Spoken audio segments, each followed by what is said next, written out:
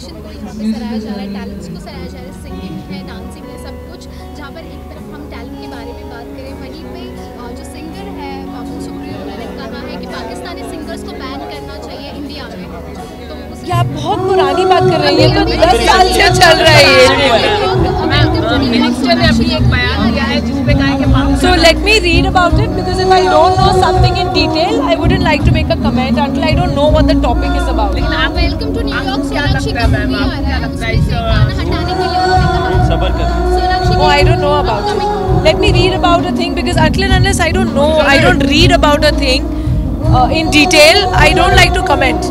I'm sorry. देखिए ये सरकार के ऊपर है जी बिल्कुल सरकार जब तक काम करने का वीज़ा दे रही है या गाने का वीज़ा दे रही है यहाँ करके गाने का वीज़ा दे रही है तो उसमें किसी और बॉडी के कुछ कहने की ज़रूरत ही नहीं है अगर सरकार ही ये चाहती है जैसे बीसीसीआई को कहा गया कि सब आप क्रिकेट रिलेशन बंद कर दीजिए तो इसी तरह अगर पाकिस्तानी कलाकारों को सरकार वीज़ा देना बंद कर देगी तो हम काम ही नहीं करेंगे साथ में कैसे करेंगे? ये बोला जा रहा है कि उनका सॉन्ग को हटाया जाए